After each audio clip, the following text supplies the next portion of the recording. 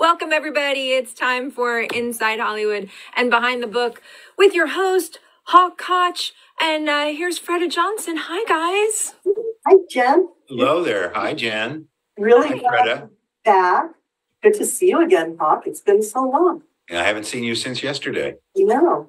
So I'm really excited about today. I mean, Sam is such a good friend of all of ours. This is his third time back.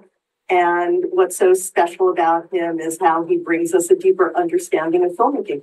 So I'm excited to get to this. Um, just side note, I'm part of the cult of One from the Heart. So I hope there's a lot of discussion about that. And Oh, uh-oh. now all right. you. Well, uh, hi, everybody, and welcome. Uh, we are talking with best-selling author and my good friend Sam Wasson. His new book, which has just come out recently, The Path to Paradise, a Francis Ford Coppola story. It charts the ins and outs, the ups and downs of a remarkable career, as well as speaks about the divergent paths of he and his co-founder of Zoetrope, a guy by the name of George, uh, oh, Lucas, George Lucas, yes. Francis, as most of you know, is the uh, five-time Oscar winner and many more nominations, writer director of God, the Godfather trilogy, Apocalypse Now, The Conversation, and many, many more. It's a great book filled with the kinds of stories I expect whenever I read one of Sam's tomes. You remind, rem- might remember the last time Sammy and I talked together on this show was when I interviewed him for the best-selling book, The Big Goodbye, about the making of Chinatown. So let's get started. Sam, come on in, buddy. All right, I'm starting my video. Am I on? There you are. Oh my God. Hi, everyone. Hi, Hawk. Hi. Hello, Sam, and and welcome and thank you. Uh, as I said in the introduction, it really is a great book for anybody who's interested in in Hollywood, and I think most of the people that watch this are. Uh, the detail, the detail is unbelievable all the way through.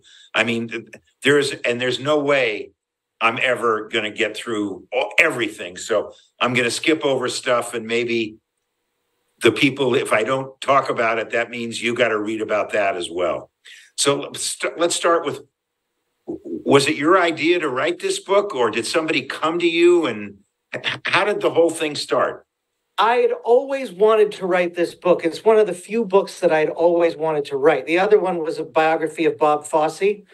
And the other, and and this, the reason I was uh, uh, interested in this subject, interest is too benign a word. The reason I was devoted to the subject was because having grown up in LA, my parents were friends with folks who were had worked at Zoetrope Studios um, when it was at Las Palmas and um, Santa Monica, and the Hollywood work- General, yeah.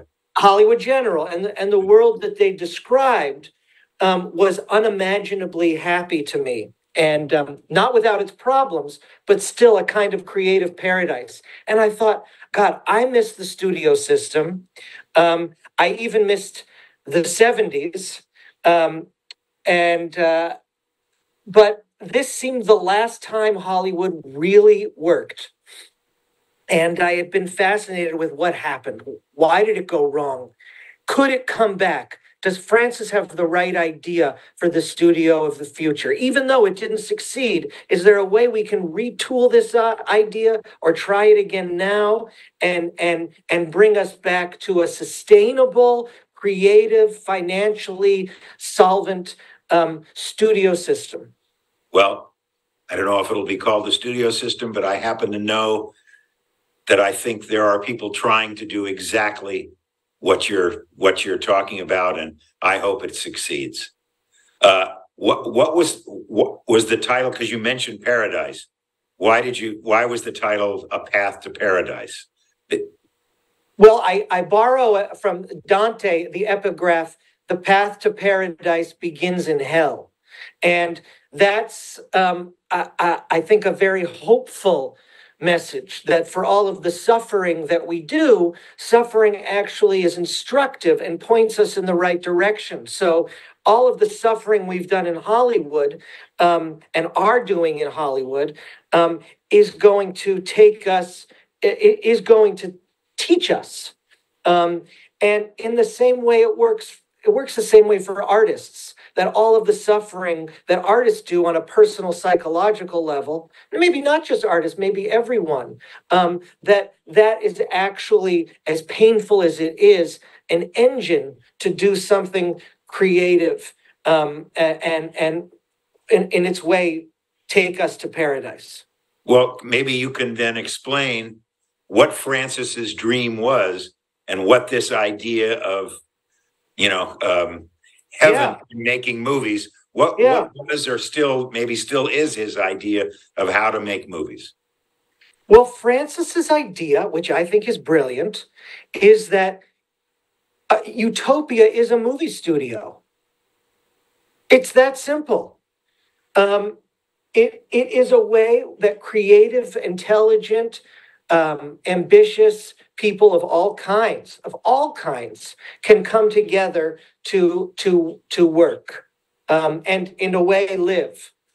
Um, and and Zoetrope was his attempt to recreate that utopia, to test that concept. And all the work that I've done on the actual studio system from 27 to, you know, what do we call it, 48 maybe, points to that same understanding that you get in a studio when it's functioning flexibility, family, and fun.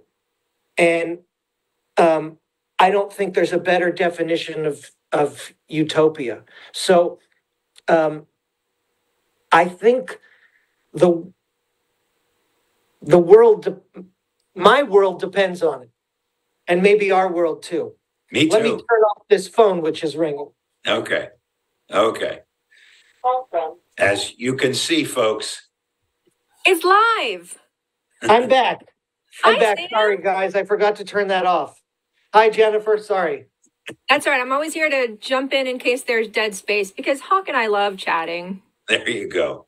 It's The and- wonderful Jen Clymer, our director, producer, miss everything. Um, I do want to say for those of you in Los Angeles that don't find a lot of time to actually get your nose in a book, the audiobook is available on Audible, and that's I'm just starting it now. So Did you do the audible? Sam, no, did you I I didn't do it. I didn't do it. No.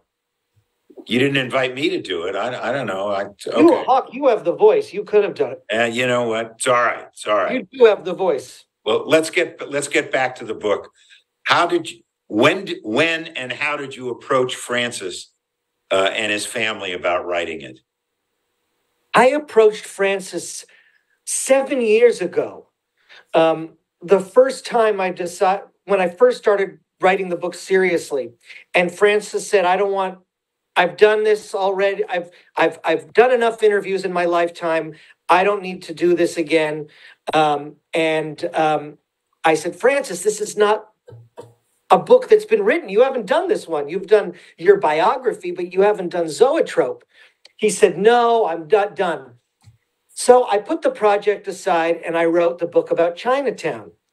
Then, after Chinatown, I thought, you know what? I want to tell this story so bad, I'm going to do it whether I get Francis or not. And I started doing it. And through a friend, reconnected with Francis. And Francis said, um, Okay, I've, I've heard good things about you. Um, uh, we have the same friends in common. Uh, whatever you need is yours. Had he read Big Goodbye or some, any of your other books? I don't know what he's read. I'm assuming he must have checked me out to give me the, the thumbs up, Right. but I don't know what he read. Did you have to talk to, uh, did you talk to Ellie as well? Because I spoke I to mean- Ellie. I, I Eleanor Coppola. I spoke to the whole Roman. family. Roman, uh, Sofia. Um, it's it's it's very much um, a, a, story about marriage and show business, and, I- and I find that I keep coming back to that theme um, uh, in the Big Goodbye and the book about Fosse, um, um, my book about Audrey Hepburn, um, and and I really wanted to look at why how this let's see, 50 year long marriage between Francis and Eleanor survived. Um, and, and uh, I, I, um, I, you know, gr- growing up, growing up in LA, I saw a lot of families split apart by location photography and um, I, I tried to understand what that's about and um, you know the the wives in many cases it was wives going on set and sitting around and trying to be supportive of their husbands and getting angry and when is it my turn? And but of course I support you as an artist. And this thing that I didn't see the end to and and kind of feared for myself as someone who was going to get married at some point maybe even to someone in the movie business um, and um, that combined with the fact that in the studio era you know everyone came home for dinner um, really makes this a book not just about work but about life and um, I, I, I, I mean, men and men are men and women are women, but in the studio era, families, there was there was more infrastructure for families. So um, I wanted to incorporate the Coppola family really becomes a part of this. Um, Right. Well, uh, just, go ahead. Yeah. just so you know, that's all right. But Bob Beitcher, the CEO of MPTF, has joined us because as I'm sure you know, Bob worked for Zoetrope at one point. And Bob, do you have a question? Is that why you're uh Oh, no, I, I was your gonna nose say, in here? yeah, no, I was gonna say, Sam, that, you know, back in the mid nineties, I guess it was, when Eleanor's documentary Hearts of Darkness was uh produced. Francis, I mean, that was sort of a tough time for the two of them in terms of the revelations and the all that stuff from that documentary. So I'm sure Francis was a little allergic to the story as a result of that as well. Yeah, or Pro- Probably, probably. Um, uh, he, he didn't, he didn't say that, uh, explicitly to me, but uh, it, it wouldn't, it wouldn't surprise me. Yeah. Um, one of the amazing things about interviewing Francis is that not, just like that movie that Eleanor shot, nothing is off the table. He wants the record to be true, his idea of true, obviously, but he's committed to it. I mean, even, even to his own um, embarrassment. He would tell me things that um, were uh, embarrassing to himself. Um, so I really, I don't think maybe Bob. Now that I say that, he was so, he's so rocked by that memory. Maybe. Yeah.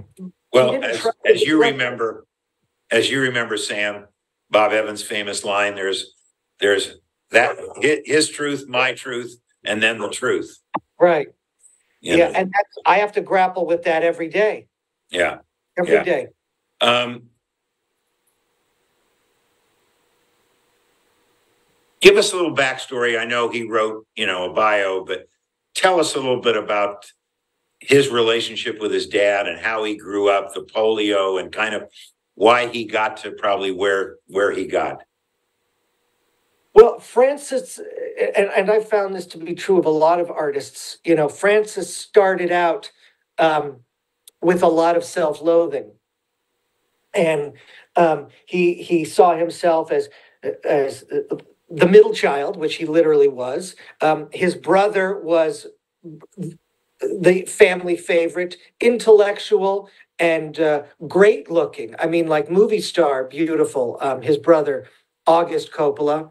Um, uh, Francis had a sense of himself as unattractive, you know, overweight, big lips, big ears. Um, um, his his mother was very hard on him. His father was this narcissistic center of the family. Um, so uh, Francis, and then contracting polio at uh, a, a young age, being in bed for a year, missing school, missing his friends, um, was very, uh, very committed tragically to this idea that he was no good. And that's, I, I, I always say, parents, if you want to make, if you want your kids to be artists, neglect them. Um, that, that's, um, that's um, that's the the the as Francis said, the oyster that grows the pearl, and the pearl is imagination. If only life were this, you know. If only. Um, it's what we do when we're when we're writing, when we're making writing a script. What if this happens? What if this? What if the the the self-malign child lives in a state of what if? And Francis had that for him. So what changed from this? I know the answer, but I'm saying, want you to talk about what changed from this guy who was alone and felt like an outcast and the ugly duckling? Was it at Hofstra? Was it before that?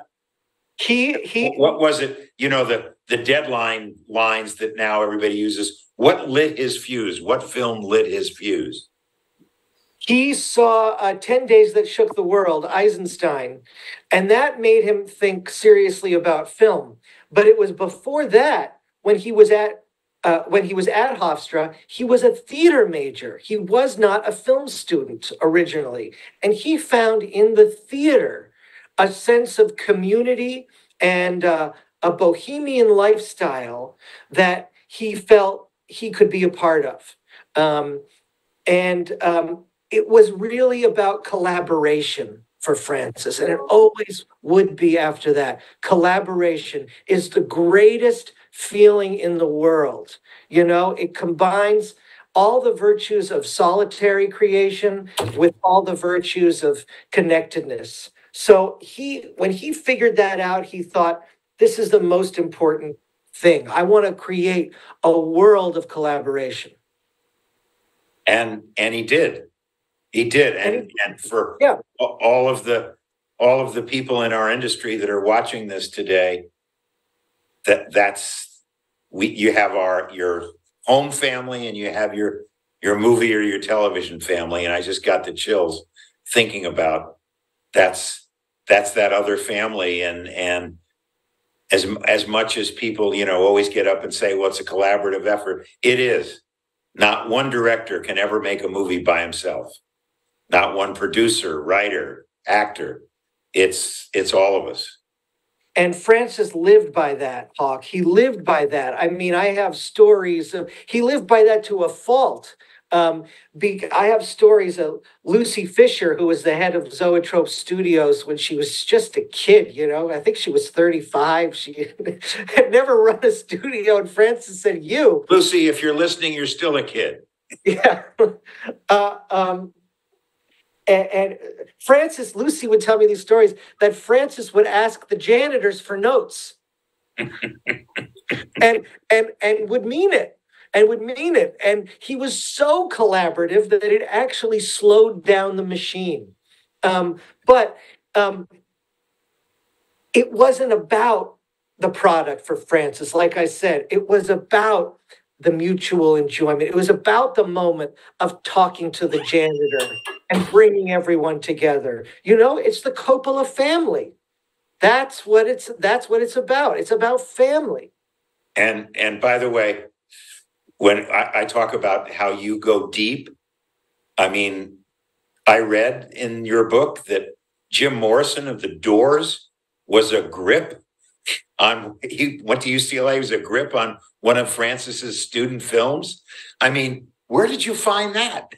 I don't, I Francis, I don't remember the exact details, but I know that Jim Morrison was a friend of Francis's and he was a film student. He was a UCLA film student. Wow. I mean, great? that's, that's the depth of this book. And I, again, I have to congratulate you. It's so much fun to read that kind of stuff and just imagine, you know, yeah, can you put the dolly over here, uh, Jim? Yeah, yeah, right, exactly, exactly. Wow. Um, all right. So he made these student films. And then how did he, how did he get to make You're a Big Boy Now? Um, he did it himself. Francis always did it himself. You know, he knew he mo he go the studio's not going to make it. You know, the movie he wants to make, so he says, "I'll finance it. I'll get it together." And best of all, I don't care about the money. And and this is such an important point. And people think, "Oh, that's easy for Francis to say." You know, he's he's worth hundreds of millions. Uh, but no, Francis was Not not. at that time, he wasn't. Exactly. It, it, in those days, he wasn't worth anything. And he had um, two and then find, then ultimately three kids to support and his wife. Um, but he never cared about the money. It's so pure for him. And so he says, I'm going to make a movie. What's going to stop me? What's going to stop me? Uh, so he goes and he does it. And lo and behold, it gets into Cannes. And he's still at UCLA. He must be the only student, film student to ever get into the Cannes Film Festival. In- incredible. Um, and um, uh, from there, you know, he got a lot of national press. He won uh, a writing award um, and uh, got a job with Roger Corman, you know, doing everything for Corman. Um, and um, And he got, he got a job for Ray Stark because got a I job was, for Ray Stark, I right? was a second assistant director on This Property is Condemned and Francis wrote a draft. That's right. That's right. Um, but I guess a, a way to organize what I'm saying is that Francis is a great producer, a great producer. And we think about Francis as a director for good reason. But this book is more about Francis, the producer. What, uh, so he, he gets all these accolades. Why in the hell did he decide to do Finian's Rainbow? Because it's a great question. Because his father was a musician um, and a composer, and Francis grew up and still has a big love of the old shows. And he loved the score to Finian's Rainbow. He loved the score, and um, uh, he couldn't he couldn't resist. Plus Fred Astaire. I mean, my God. So um, he does it and has a terrible time. Um, uh, But he did, but he did, he met George Lucas on that, right? Correct. Correct. Um, they they George and Francis met on the set of Finian's Rainbow because George had won a Warner Brothers scholarship, and um, this was really a low point at Warner Brothers. Not a lot was going on around the lot, and here are these uh, two guys, the only guys with beards, as they like to joke. Um, so this is what 1966, 67. Um, and um, uh, they connected they found each other and and they said wait a second this is not how we want to be making movies. Warner brothers is not what it was. Um, and they they said well let's let's hit the road let's do it on our own. And that's how francis started making the rain people. And I was gonna say, again, wha- one was a, you're a big boy now, now you're a big girl now. You're a big girl now, which is what the Rain People is about. And Francis's movies are about growing up. I I've I've found. Um, and um, in in fact, if you go chronologically through his career, you pretty much see the development of bo- of from you're a big boy now to you know you're you're Don Corleone now, um, and um, with with some some returns to childhood along the way. Well, what, didn't, was, was graffiti his idea or Lucas's idea or the two of theirs idea? Where did that come from? Well, um, Francis, during the making of the Rain People, George started writing THX 1138, which he would then go on to make for Zoetrope. Um, but Francis said to him, you know, why don't you make something fun and human and warm? Um, which is a note that George took beautifully with Am- with American Graffiti, I, his best movie. I wish Lucas had taken it for the rest of his career.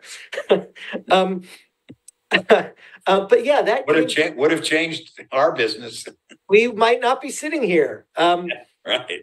uh, um, yeah, what what the what the world would have been if George Lucas continued to make personal, tender movies. Um, Yeah. um, but yeah, Well, maybe was- in George's mind, uh, Star Wars is a personal tender, there are tender moments. there are boy, man, they they're few and far between. But yeah, they are there. It's not without it's not without its touching moments. Right. Um, So let me ask you, why, why did Francis call it American Zoetrope? Um, he, because zoetrope, which is a primitive filmmaking technology, you all remember the zoetrope. If you spin it around, you can look through the slat and see a horse jumping. Um, zoetrope means life movement or life revolution um, in Greek. Um, and um, he wanted this to be a life revolution, not just a way of making movies, but as I've talked about, um, a way of a new way of living, a new way of of, of being together. So he put, the- he called it Zoetrope. He had enough money and he, he, did he buy a building or, or a floor of a building up in San Francisco? And that was the original Zoetrope, right? Take us Original through zoetrope, kind of that, that area. Yeah, the original zoetrope was up in San Francisco uh, in 1969. So that tells you that tells you culturally and emotionally what's on Francis's mind. It's part of revolution to be in San Francisco in the end of the 60s. Um, he bought a place uh, on Folsom Street, a, a warehouse, and um, opened opened the door and um, said, "Anyone want to make movies?" And he would take in people off the street, unsolicited scripts, um, and um, tr- have have Thursday night Chinese food and and a movie. Um, had bought a beautiful espresso machine uh, where and a pool table where people could come and hang out. I mean, this is not the Thalberg building. In other words, you know, this is like this is the clubhouse, um, and you know, uh, uh, um, drugs and and and money. Um, this was bankrolled by John Calley at Warner's um, right after Easy Rider. Calley said, "All right, we'll we'll give you a we'll give you a few bucks and and let's see what what scripts you can come up with." And and one of the scripts I said was THX. One was the conversation. Um, one was um, um, Apocalypse Now. Milius had, had written, was Milius the first one to write Apocalypse? Milius was working on Apocalypse with Lucas. Um, let's see, Carroll Ballard was working on a script that never got made. Um, Deschanel was up there. Uh, Matthew Robbins and Hal Barwood. Right, Willard and Willard Huyck, and Gloria. Gloria. Cat, Gloria Yep, Katz, exactly. right? um, uh, Walter Murch. I mean, God, talk about burying. Yeah, the let's just stop for a minute Yeah. and explain if people don't know. I mean, the genius of Walter Murch.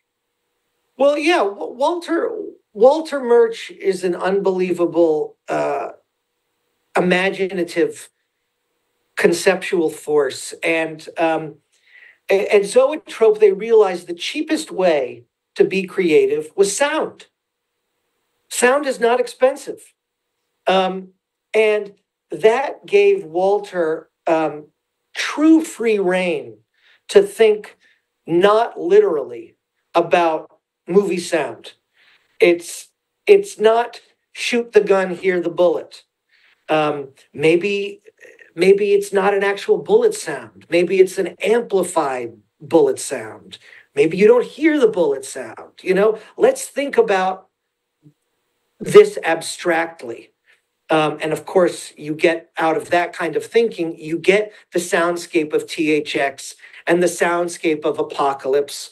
And of course, the famous example is um, in Godfather after he shoots McCluskey, um, the, the the the the push in to Pacino and the sound of the screeching L train um, behind him. Um, there's no L train in the shot. That's a purely sound idea that serves no um, story function except emotion. Um, and that's the way Walter would think about sound. So I don't know this. If what t- again? Cameras had had new cameras had come in, new ways to shoot had come in, but it wasn't until THX that actually sound didn't just come from some speaker behind the screen. And was was that Walter and George together? Was it George's idea? It was the two of them together. They wanted to use music like sound effects and sound effects like music. Uh, and, and what that means is that uh, whenever you heard music in the movie, it would be coming from a on-screen source, you know, a radio or something. Right. Um, and instead of score, it would be a weird soup of sounds that weren't quite musical. Um, that's an experimental approach in, uh, uh, to, to sound that um, Zoetrope really, really pioneered now, and we take for grant. Also, also, Walter Murch was mixing sound the way they were mixing music, using a, you know, I don't, a, a lot of this isn't firm in my mind, but like six track audio Walter was doing, and that was new in the movie business. Um, um, you know, all those tracks. Bob, did you have another uh, thought? You're muted, Bob. You're muted. Were you asking about THX, the theater's sound system or Yeah. THX? Yeah. Well, the sound, the sound Oh. system didn't come until the like mid eighties and that was, uh, no, right after Star Wars. no, Right.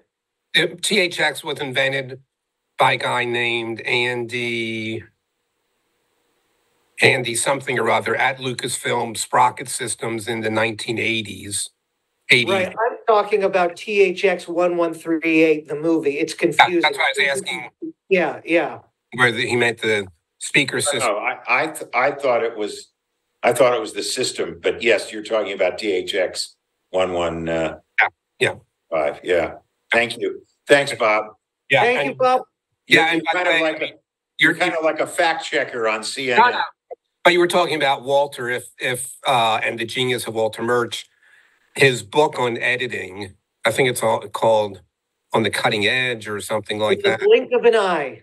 Blink of an Eye is one of the great books about film editing that anyone could ever, could ever read. It should be like a textbook for a film editing course. But of course, he, as Sam's saying, he got his start in sound and sound editing and creation. And then moved on to cutting picture as well. Right, he cut, uh, Ghost for my father. Exactly, Yeah. exactly. Um, one of my favorite films, and I like to watch it at least once a year, is Patton. Pat, yeah, Patton. Man, I mean, I, I loved war movies as a kid growing up. Million Dollar Movie on Channel Nine. You know, all the great John Ford. They were expendable. Just you know, all the great war movies. But when I saw Patton and that opening, I, I just was. Do you know whether that was in Francis's script? That opening, Yes. Francis wrote that. man. Francis I wrote mean, that. I when you talk about openings of films, that's the you know what's the greatest opening of a film? You just think about that that American flag and and George C. Scott in front of it as a that little thing with the size of the flag. Man, You're right, Hawk. It really is one of the great openings. I never thought about great openings, but it, it would have to be on that list. And Oh, Francis, of course, So- won the Oscar, which he shared uh, for for Pat screenplay, uh, which he shared with Edmund North. Edmund North, yeah, Yeah, Well, now right. had North written this at first, or did Francis come in and do a rewrite? Do you know how that happened? You know, I don't remember. I think most of it was Francis. I, I, I think most of it was Francis. I don't I don't remember. Um, and it had gone through many drafts. Um, Francis wrote it originally, I think, for Lancaster. And then Lancaster didn't like it and didn't like Francis's draft. So they started doing rewrites. Lancaster fell off the project and George Scott came on the project. And I think it was George C. Scott who, in looking over the drafts, or uh, suggested a return to Francis. Well, I mean, what if you want to see a great war film and you haven't seen it recently? Run it, boy. And a great performance by George C. Scott. How about that one? And excuse me, that one of my dear friends, one of the best scorers ever, Jerry Goldsmith. Oh, man, yeah, you, really, I, the minute I say Patton, I hear that score. I don't know how he was nominated seventeen times and only won once. He didn't win for Chinatown. That's He crazy. didn't win for Patton. He won for the Omen. I mean, what a, what a score. What a Yeah, Um, now we, I guess we should probably talk about a small little film called The Godfather. oh, yeah, The Godfather, I remember that. Let's, let's Yeah. start, let's start from what's the true story? Now, I, Mr. Bart, who's an old friend of mine, Peter Bart, has always said he went to Francis a couple of times. And you kind of in the book kind of take it, take us through how Francis got involved. Yeah, well, it's, it's, it's not anything like the movie The Offer that they shot. uh, Yes, I know. unfortunately released. Um, it's nothing like that. Um, um, it was Peter Bart who said, um, you know, let's get this guy. He's in, you know, he's in trouble. We can, we can control him. He's a director on his knees. Um, uh, Evans liked the fact that he was an Italian because Evans would always say, I want to smell the, the tomato sauce. Um, uh, uh, there had just been a bad mob movie with Kirk Douglas as the Italian. Right. So Evans was reacted called the Brotherhood, I think. And Yeah. Evans Evans very wisely said, "We got to feel Italian." So, um, and a lot of directors had passed. Kazan had passed. Um, I can't remember who else had passed. Um, and uh, Coppola had passed. Actually, Coppola read the book and he said, "This is a stupid book." Um, and in for those of you who have read The Godfather, it is kind of stupid. It's a soap opera. Um, um, but it was George Lucas who said to Francis, Francis, we need the money. And I love that because it it it tells you that it's about zoetrope. Um, Francis needed the money to save zoetrope. Um, and that's why he took The Godfather. It's, Um, it's so funny. It reminds me, you know, my partner for a long time at the Producers Guild was Mark Gordon. And Mark Gordon, we'd, we'd always try and figure out how to, how to get more money for the guild. And it, Mark would always say, because we need the eggs. This is what we're going to have to do. And that's what, that's what Lucas said to him. We need the eggs. We need the Yeah. money. Yeah. Yeah. And, And so, so, he did it.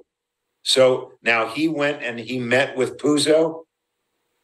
Yes, and and Puzo and Francis was a love story from day one. They got on like a house on fire. Puzo Puzo was not precious about the book. Um, he was open to making it better, and th- they uh, they really l- loved each other. Um, Puzo and and Francis. Um, Now I understand Paramount wanted a whole different cast than what what Right. ended up happening and what Francis wanted. So they, Well- they were bucking heads right from the get go. Yeah, I mean, it's easy to look back and say, how could it be anyone other than Pacino, you know, because we have the movie. Um, but back then, Pacino had only done Panic in Needle Park, I think. Um, and he was a scrawny, pale looking guy, you know. Um, he he was no Ryan O'Neal, you know, he he was no movie star. Um, um, and um, Evans Evans didn't want him. Um, and, you know, rather than say Evans was wrong, Francis was right, you know, these are such tough decisions. Um, but finally, Francis did get him, which says a lot for Evans. And, and, and, we know that Evans and Francis fought all the way through. And Evans was not always well behaved. Um, um, but look, look what happened, you know. And Francis Um, wasn't always well behaved. Fr- Francis wasn't always well behaved. That's exactly right. So how uh, how did they how did Brando decide to become, you know, Brando and this this character? I think the story was he and Francis had a were having a meeting at Brando's house, and Brando just took two cotton balls in the meeting and put them in his mouth, or two celery sticks, or whatever two things and put them in his mouth and just started and just started doing it. Now, I was friends with uh, Gordon Willis, and I know that there were fighting between the two of them, and I don't know of a more beautiful films than Godfathers one and two from Gordy, the uh, as they used to call him, the Prince of Darkness.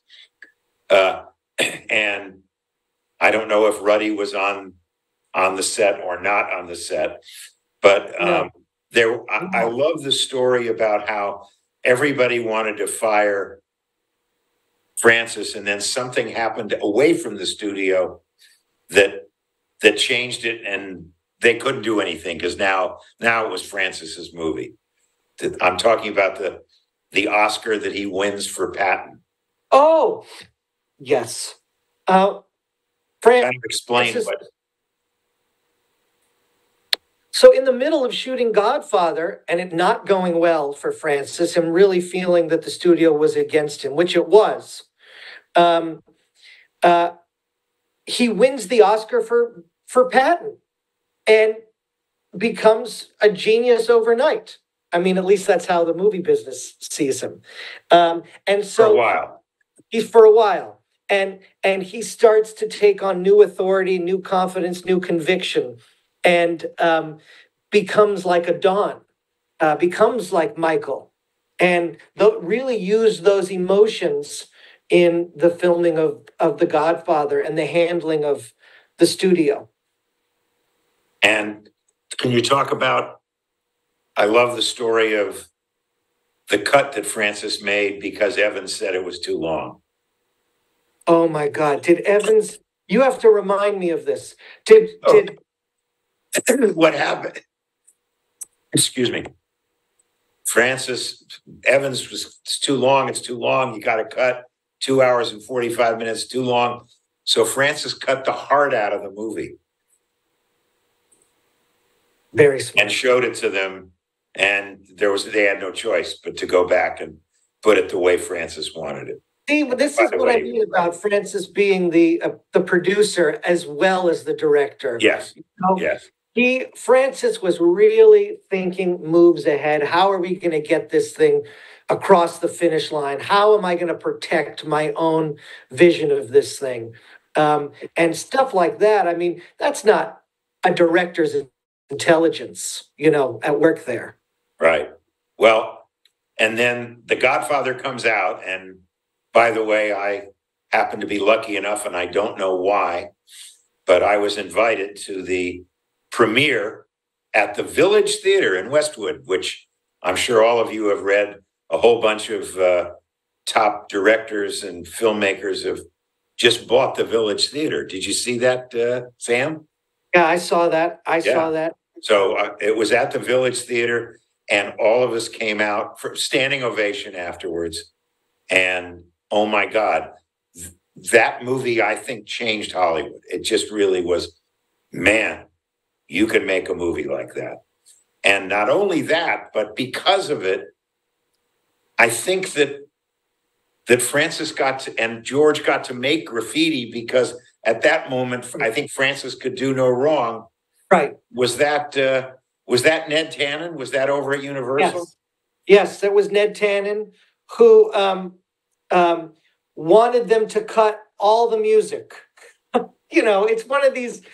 It, he wanted them to cut all the music, but Ned Tanen deserves a lot of credit. I mean, he he made he he he he did his job. He made a lot of right decisions over there, Ned Tanen, and and unfortunately, he did not see what he had with American Graffiti, but. Um, they they don't always you know it's if no one knows what the future brings um, and and a lot of what looks strange today um, is actually uh, what what we'll come to love in the future um, and I, I don't know this because I never read the book and this question just came to me. The original movie, The Godfather, was that the whole book? And, and he, and Francis created what happens in Godfather 2? Or was that part of the book? pretty much godfather 2 is original Um, if I, if I remember, I haven't read the book in a while. Yeah, Um, I would uh, think so. yeah, yeah. Wow. Um, And, yeah. and he was able to, because of Godfather, he was able to make a movie that he was always interested in, which was The Conversation, right, which I assume Walter Murch must have had a lot to do with all the sound in that movie. that's right. And well, it was also Walter's first film as an editor, Right, the picture editor, not a sound, Right. editor, a picture editor. right. Um, and then Francis, uh, but the, the reason, uh, uh, Francis did conversation was because it was part of his deal that he would then do Godfather two. Um, So he which I held, did. held it over them. I get to make conversation, so yes, you get to have Godfather too. yes. And, um, um, um, it, it, it- it's important that people remember that Godfather one and Godfather two, Francis, were, were both jobs for Francis. Right, The, the main line of his career are these zoetrope movies. later on, Later on and before, right, uh, you, you know, um, the Rain People, for instance, you know, Right. this is a real Francis zoetrope movie. And then, and then Apocalypse, which he makes after. Right. We're gonna Uh, get to that in a minute, but I just, I want to read something that you wrote. And uh, just remembering that Godfather Two was nominated for eleven Oscars. Francis won three of them. Directing, picture, and, and, uh, and writing. And there's something, this is, this is what drives me crazy about Hollywood. All right, this is just a little short piece that, that Sam wrote Francis knew what he was doing. Five Oscars. He had won them, hadn't he? In 71, Best Original Screenplay, Patton. 73, Best Adapted Screenplay, The Godfather. 75, Adapted Screenplay, Director, Picture, Godfather 2. He was a king, the most powerful, most respected writer, producer, director in Hollywood. And with all the attention and media resources conferred on him, among the most impactful communicators on the planet. That year, one critic wrote that Coppola's influence over people's minds is much more profound than any American politician's today. Imagine what he could do with all that influence. And yet he still couldn't get Paramount to finance Apocalypse Now. Five Oscars and the greatest filming streak in memory, and they wouldn't make his movie, which is people always come to me and say, "Oh, if you get this director, you're going to make the movie because he just won the Oscar." And they go, "No, uh-uh. Doesn't happen." Unbelievable to me. You put your finger, that's like the pulse of this book, that, that very moment. You know, what kind of a business is this? When Francis Ford Coppola, after this incredible streak of critical and, and commercial success, can't, can't get his movie made. What kind of business is this? And exactly. yeah, and and uh, you know, you want a safe bet. That's as safe a bet as you could possibly make, but it's not safe enough. What are you waiting for? Come Uh, on, Bob. Well, I would, I, I'm just curious to ask both of you, how much of that do you think is related to the subject matter of Apocalypse? yes, Not more was But it still, do- Bob, it doesn't matter. well, If- believe me, when he made The Godfather, people were going, you know, oh, another crime story, another crime Yeah, but family. I don't think you. It's like can when- compare- you when can they compare- turned down Yeah. When they turned down Rocky, I won't mention the name of the studio executive. Oh, nobody wants to see a fight picture. Right. You know, Yeah, I mean, the Vietnam War was still highly divisive, and that was really the first. yeah, but but but Deer Hunter, two Yeah. years later, wins the best picture. Oh, two years later. Yeah. Well, but I'm I'm Yeah. still saying Yeah. it. It wasn't like Apocalypse was going to start shooting the next week. I, I disagree with your premise. Yeah. Okay. Yeah. Just Sam, what do you think? well, Beitcher is taking the studio's position. That's what they did say. They they they did say, uh, you know, this the subject is too hot, too hot. Um, uh, but look, they they also took on other controversial subjects. So you know, executives will say whatever they want to say to justify their no. Um, Um, you know, maybe if Fra- if Francis had signed Nicholson, you know, the studio might have jumped aboard, or if he had signed Pacino, you know, or McQueen, yeah, you know, maybe the studio would have got. Maybe that's what they were really saying. Yeah. Um, Well, um, but the next year, you know, uh, they made Network. I mean, talk about controversy. right, right, right, Or um, Paddy Chayefsky's The Hospital in Right. those same years, you know? right. Yeah, but Um, anyway, it's good argument, good argument. I like, Bob, thank you. Yeah, okay, I'm leaving. Come back soon. Uh, in the book, the way the book is structured, you kind of go back and forth. You, you tell us a little bit about Apocalypse and then go to other areas of his life and then come back. Uh, so for, for now, let's just go straight ahead and talk about Apocalypse for a while. Um, talk about the fact that, again, Paramount said no. I think just about everybody said no. How Yeah. did, how did he eventually get it financed? Uh, uh, he and Barry Hirsch, lawyer Barry Hirsch, um, went and sold foreign territories um, at Cannes. Before, they didn't do that very often in those days. That's old hat today. That's old hat today, but it had never been done on the scale of Apocalypse uh, up till that point. I think they got eight million in foreign, seven or eight. Beitcher's back. Here, what do you got, Bob? No, I was just curious, Sam, because there there's a guy in Francis's life for many, many years who you don't mention a lot in the book or at all, Paul Rassam. Right, he And he was Yes. really the Paul Rassam and his partner, whose name I'm forgetting, were really the foreign sales guys working with Barry and Francis. Did you did you interview Paul at all or no, I I wish I would have. I got his name uh, only too late. okay. Um, but yes, he was um, working with I Bar- Barry told me about him. Yeah, okay. Thank you. Yeah. There, uh, so, okay, so, so that's where they got the money. Now, So half the money. So they got they got did they have a cast yet or not? Had Brando said yes? You don't know. I don't remember. It's an important question. I don't remember. Um, My question is, in those days, even though the Hollywood studios said no, would the foreign financing people, oh, it's Coppola. Yeah, I'll give you X amount of dollars. I don't remember. I wish I did because it's a very important question. All right, well, Um, I don't remember either. But talk about, I know he did go to McQueen. And what happened? How come McQueen didn't do it? McQueen didn't. Um, McQueen told him that he wanted to be uh, at home, didn't want to go on location. Francis later discovered that McQueen was ill, um, and and didn't want to disclose that.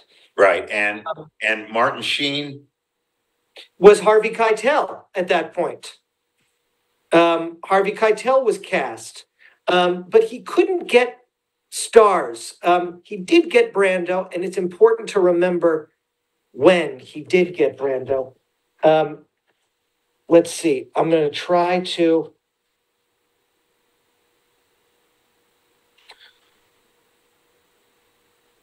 Uh, I don't know. he knows the page to go. I don't know. I I I, I do know the page. It's in the beginning of the book, but I couldn't read fast enough. Right, okay, it's all right. So Um, once they got foreign, they they got another seven or eight domestic from um, UA. UA, and at that time, it was Transamerica? Yeah, if it, it was either just about to be Transamerica or was Transamerica. Right, Um, and then my friend David Field was Yes. the West Coast head of production. Uh, and, uh, I guess, I guess the guys were, go- was, I guess Arthur Krim and Yes. And all those guys had left, Yes. were they still there? they were still there. Medavoy, Pleskow, um, Leskow, Pleskow, Marcia Nasatir, right, um, um, who else? Benjamin, right, Benjamin. Bill and- Bernstein was, uh, I- business yeah, affairs, So, Arthur. Krim, yes, right, not yet Peter Bach. Um, Stephen Bach. Stephen Bach, Stephen Bach, not yet Stephen Bach, right. It's all right, I can, it's all right, We can do it together, Hawk. there you go. Yeah. There you go. So, all right, so he finally gets it cast. Now they start shooting. I just typhoons, drugs, heart attacks, drugs, Brando, and the ending. So let's take let's start with let's start with heart attacks. What happened? Oh, God. Well, Sheen had a heart attack. They had Sheen has a heart attack. They've only been shooting what a few weeks. They have to shut down. They have to shut down. I think it was longer than a few weeks, but they're still in the middle of it. They have to shut down, right? Typhoons destroyed their their locations. right? Um, Francis has to mortgage his house for another loan. Um, can you believe it? He doesn't have an ending. Brando is fat and doesn't know his lines, um, and is costing a million a week, a million a week in 1976 7. Um, and let's see, God, endless. Just, Um, it, I know because I got a call in 1976. right. Uh, I got a call. You know, would I would I come over and be the AD? And I I told Francis that honestly, my life was in ruins. My wife and I were getting divorced. I had two little kids, and I couldn't go. And I suggested Jerry Ziesmer, who ended up becoming the first AD. Oh, here he is again. Oh, I, I was going to say, Hawk, your life was in ruins and everything. It sounds like you would have been the perfect AD for that film. Very good. Would have joined, Probably, but it- joined, joined the tattered, crippled, and crazies down there. yes, but and and everybody was on drugs over there, Right. Right? That was Yeah, there's a great scene in uh, Ellie's documentary with Francis on the phone with Barry Hirsch about Marty Sheen. It's like, you know, tell them he's, you know, healthy. You know, he didn't have a heart attack, you know, just Yeah. great. Yeah. yeah. Yeah, and Francis was doing that not because he wanted Sheen to, wanted to destroy Sheen, you know, wanted to ignore his health, but Right. for the insurance. Hey, by the way, Bob, I think that would be a good idea to run uh, Parts Ellie's documentary at the home. Yeah. I mean, it's an amazing, uh, Yeah, Oh, we're talking about it a lot, and that would be that may be fun. I'd like to come. Maybe Sam would come. Oh, of course. What a great what a great idea. Huh? Can we do that? sure. Yes. I We could can invite, I set that up. Yeah, I could invite another great person to invite to that would be, I think you guys know him, Kary Antholis, who used to do uh, documentaries at HBO. Do you guys know him? No, I don't. But great. Yeah, he, he actually worked on the documentary with uh, George Zaloom and uh, his partner Mayfield. Maybe Ellie would come. Uh, Ellie would come, or maybe Ellie, if she couldn't come, she would Zoom. Yeah. Yeah. Maybe she would Zoom. Yeah. right, we'll try it out. All right, it's a good idea. All right, so now he's hawked. He's hawked everything. Right. He's in all kinds of trouble.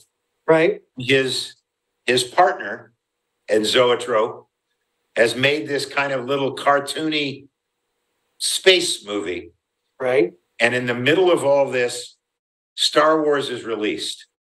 It becomes what we all know it became.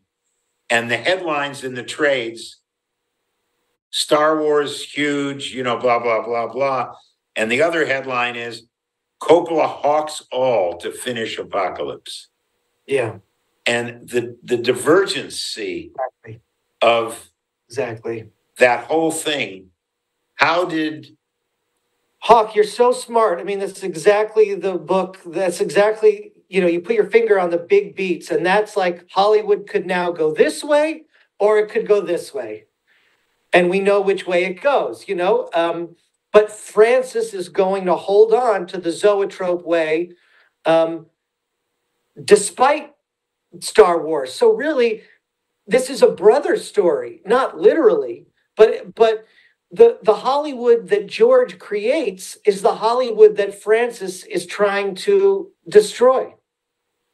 i Yeah. just really a reflection of the divergence of their two personalities. I mean, Yes, Francis is exactly. consummate gambler, Yeah, bet but bet all the chips, and Fran uh, George, you know, extremely conservative in that regard.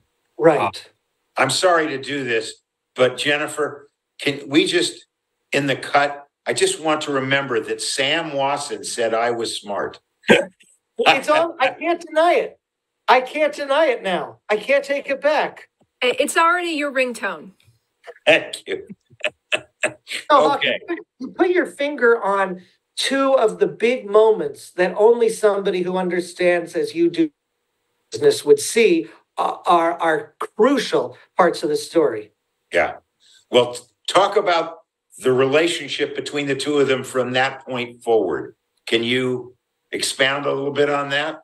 You know, two different, friendly from a distance. I mean, two different lives, two different approaches to Hollywood, not enemies, um, uh, but but to, ha- having gone two separate ways. And the, the best way to to summarize the the difference is that the Lucas and Lucasfilm approach emphasizes post production and special effects. Uh, and the Francis Zoetrope approach emphasizes pre production, um, writing and rehearsal, um, and um, experimentation. We know which version won out. Yeah. Um, Yeah. and and and um, not for the better. I, I understand. I'm totally with. you. So he finally gets Apocalypse to be released. How did it go in the theaters and how did Francis finally feel about the film? I think Francis was proud but unresolved with the ending. Never really nailed the ending. Um, Did he want to do a, di- I mean, I just watched it again because of reading your book. I watched the film again. what did you think? Again, I was left kind of eh at the end Mhm, It is. because it's such a journey to get there. Yes. then what happens? I don't want to blow it for people who haven't seen it, but then it's just kind of going away. Yes. He never figured it out. But I guess my, my, I always thought, you know, it's the old adage life is a journey. It's not once you get to where you're going that's exciting. It's the it's the journey to get there. Well, uh, one of Francis's Achilles' heels is he gets caught up in philosophical questions. And philosophical questions don't always lend themselves to a beginning, middle, and end. Um, because most philosophical questions we're still wrestling with. Yeah. We haven't figured we haven't figured this stuff out, you know? So uh you you got to at a certain point go into an imagined conclusion with your with your story and let the philosophy go. And um, Francis was always reluctant to do that and was continually grappling with the evil in Kurtz and the evil in, in Willard and the good in Kurtz. How much evil is in us? How much good is in us? Is there good? Is there evil? He lost sight of what makes a good story. And that was as the director writer. Yes. as the producer, I guess my next question is, when you say, and we all know, Francis now has hundreds of millions of dollars, probably not from the movie industry, although No, from the wine, from the wine. from the wine, Yes. from the name, Yes. you know, Yeah. but was he a good businessman, you think, or was he a bad businessman? Well, I think Francis. It's a great. It, it's the question, Hawk. It is the question. What? How do you define good? You know, is money good? Is that what makes a good businessman, or is a good businessman somebody who enjoys his or her business? Well, for yeah, for me, Right? from my definition is he got to do what he wanted and he loved Right. doing it. Right, And, and he didn't make money in some areas, but he made money in some other areas. Being a good businessman isn't how many times you've been bankrupt. It's, right, yeah, again, did you enjoy the journey? right. You know, I'm, a- I'm not a very good, I'm a terrible businessman. Yeah, True. me too. But man, have I loved every minute of everything I've been able to do in my life. So I'm not a good It's business. not about money. It's, you know, it's, No. it's, we, it's, it's just, and, and movies are so expensive, you know?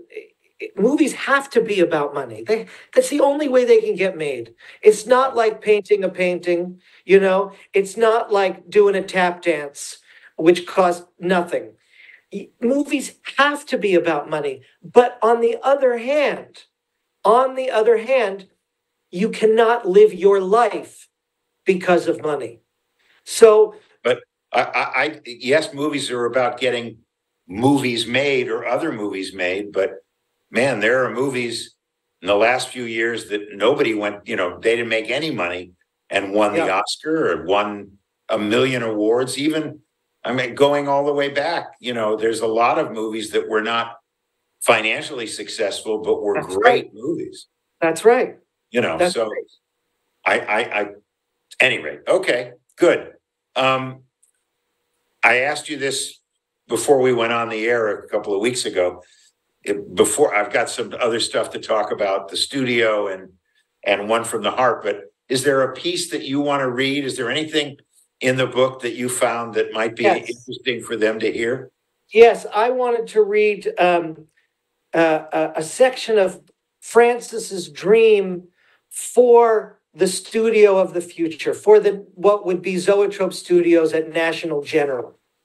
Um, and um, this is one of the reasons I wrote the book. Was to write this section. Um, he would build at least six parks around Zoetrope Studios. He would develop a training program for underrepresented Zoetrope employees of the future. He would rent out space with no overhead charge to producers. He would offer two acting tracks, one for contracted actors in his repertory company, the other for freelance talent. He would do the same for writers and directors. Instead of giving out percentage points in individual films, he would give his contract players a share in the profits of the entire studio. Should they want to work elsewhere while under contract, he would, within reason, encourage them. For Zoetrope workers and their families, he would enlist Hollywood professionals to lead free studio workshops in the art of filmmaking. He would open a Zoetrope Studios restaurant, several restaurants, so employees and their families would eat and for free. He would open a library. He would screen day and night favorite films.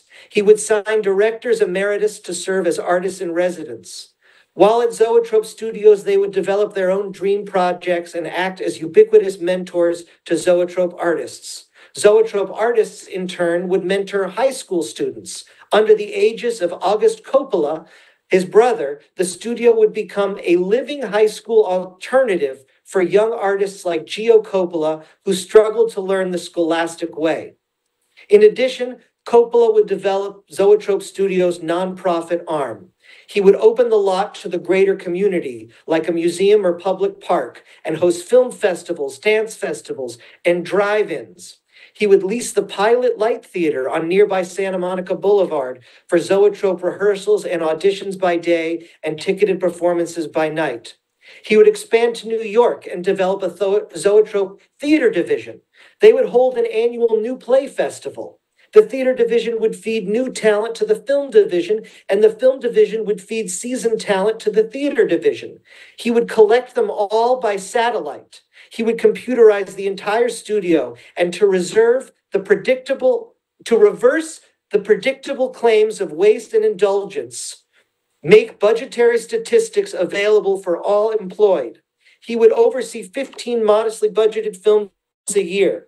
His name and reputation would earn him a healthy line of credit from Chase Manhattan. European and domestic distributors would provide the rest.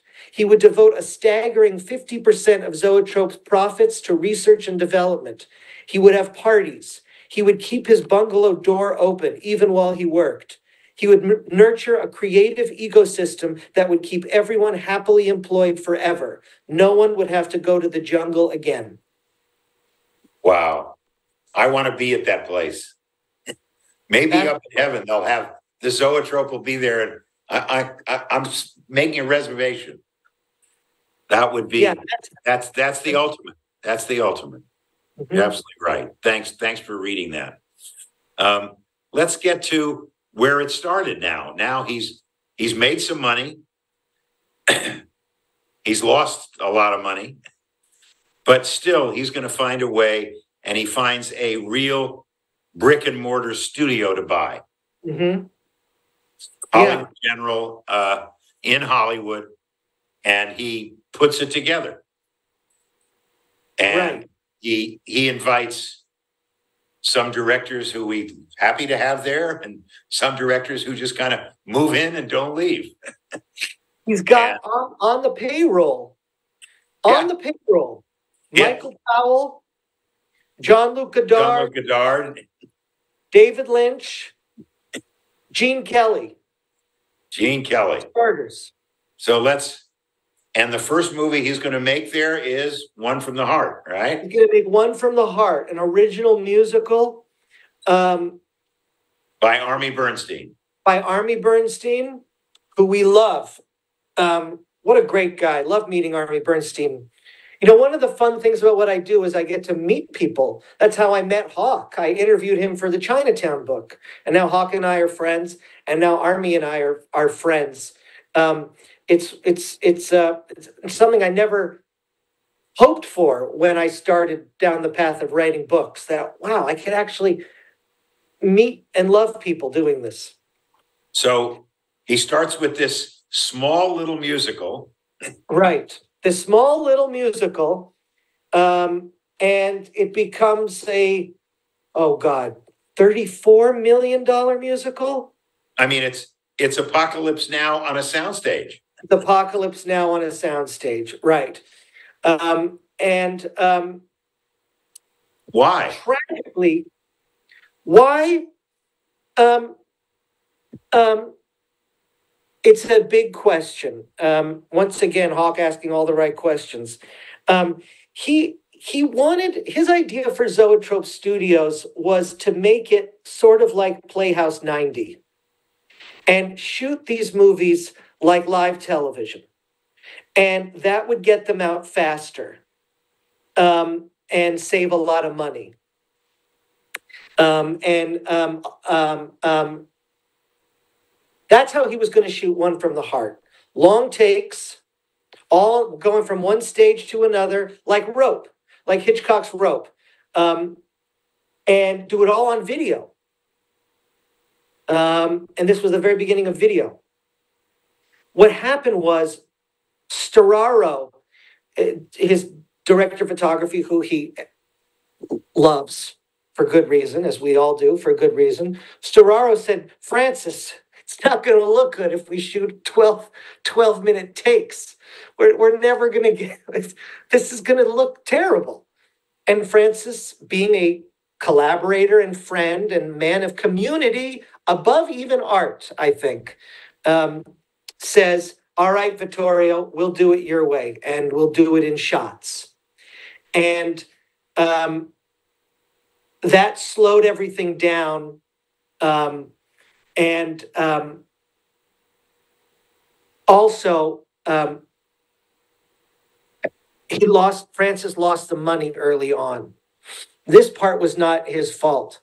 He lost an $8 million investment um, um, for reasons that are hard to understand. So he was out of pocket week by week um, trying to keep this thing afloat. Right. For most of the for most of the movie. Um, at the same time, he's building the most beautiful set um, maybe that's ever been made in Hollywood. This recreation of Vegas. I saw it. I was there. What did you think, Hawk? It was amazing. I mean, I'm, I'm a friend of Army's also, and I came on the set because Army invited me to see it. So yes, it was, it was, I didn't have to go to Vegas. I could just go to Zoetrope Studios. Right. Right, and the idea behind that extravagant set was, was long takes. Uh, Um, so uh, the, the, the press at the time misconstrued that as ego and indulgence, but really that was a part of Francis's um, economic vision. All right, so let me ask a big question. You spent years researching this. You spent a lot of time with Francis and his family. Who is he? He's a guy that um, just wants to be a part of the group. Good answer. Good Fran- answer.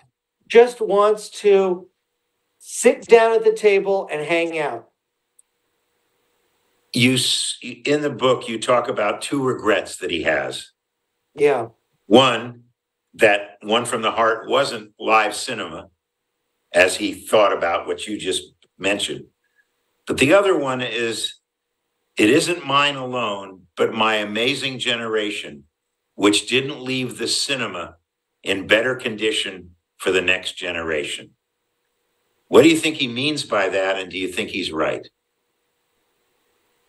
I think he is right. And um, do you think it's their fault?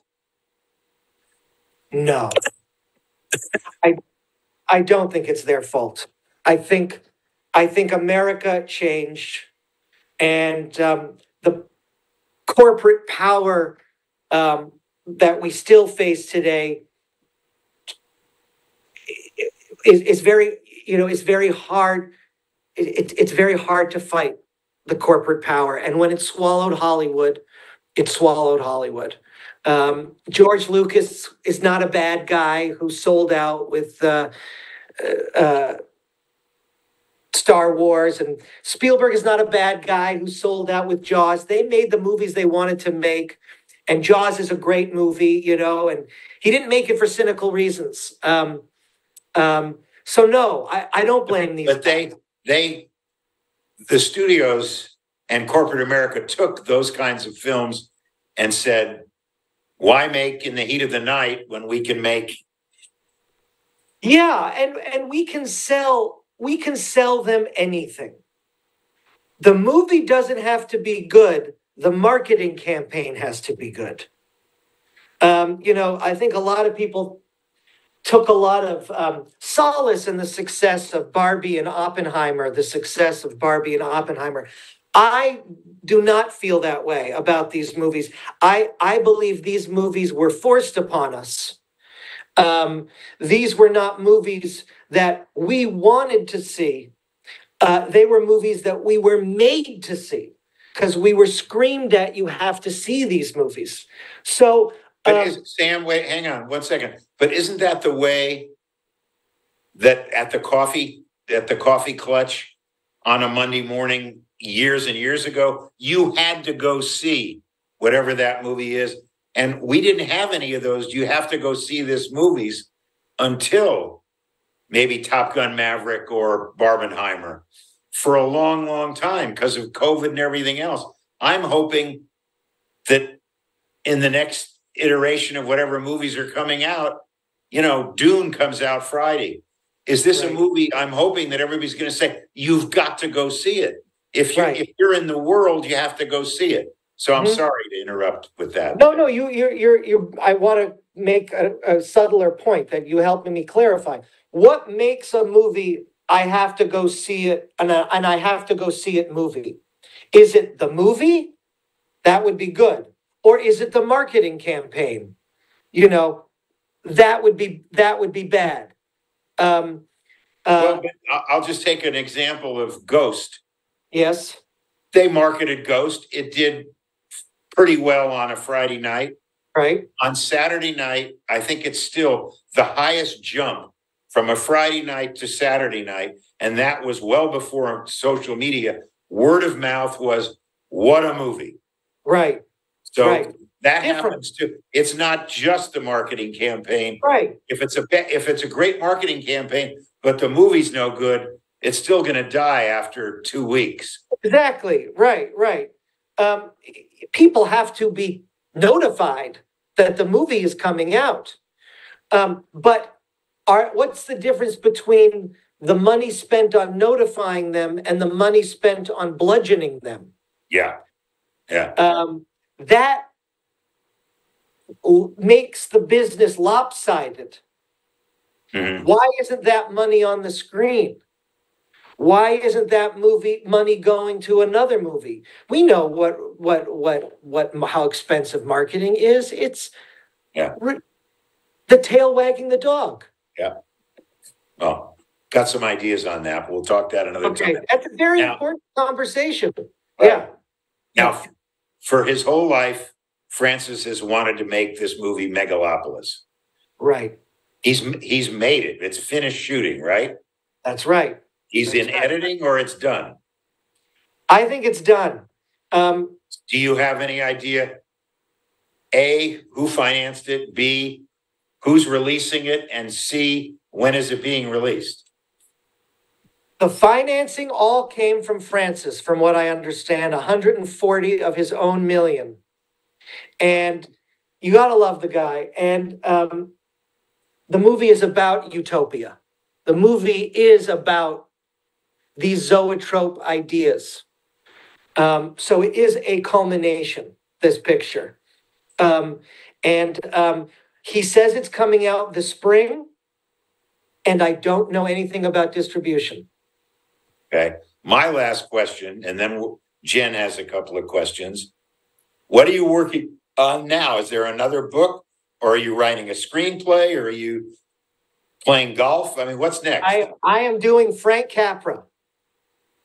Uh, the biography of Frank Capra, which Hawk has right. Yep, I've, yep. There he is. Where is it? Where is he? He's on the left talking to There's Frank Capra. And that's And there- me. Yeah, and there's Mazursky. and Paul Mazursky and John Fiedler, an executive at Columbia. Wow, I can't wait to read that one. Looking forward to it. Yeah, Well, As usual, Sam, it was a stimulating time talking Oh, to you. great, Thank you thanks, so much. I mean, it just, you know, I, you're, you're one of the, one of the people in Hollywood that we all have to, I'm so excited for everything you write and Thank you Hawk. so much. Uh, now Jen does have a couple of questions. Jen, are you there? There she is. Hello. Thank you, Hawk. Hi, Jen. What did you think, Jen? Was it all right? It was great. I actually was drafting an email to you. The simplicity of the question, who is he? Well done. Blew me away. I'm gonna I'm just gonna send that email right now to prove that I there you go. Boom. Sent. Um Sam, we've been down this road before. You know the two questions that I normally come in to ask. So I'm going to put a little spin on those two questions. We've heard your favorite movie and your favorite, TV series. Let's hear what your favorite movie of the past 12 months has been and your favorite new TV series. My, I haven't watched television in many years. So I can't tell you what my favorite TV series is, but the movie I loved in the last 12 months was Past Lives. Beautiful film. Yeah. Yep. Yeah. Um, I, I, I have watched, um, I don't remember what answer I gave last time, but in case I didn't mention it, I love the series Friday Night Lights. You did mention that. Is that the I'm one I working with Jason, I'm working with Jason Katims right now on something. Oh my God, that that thing that is a beautiful show. Yeah, Yeah, Yeah. I'm excited because of Jason. God, I'm jealous. Get, tell him, tell him I'm a, fan. I will. Tell him I'm a fan. Sam, thank you.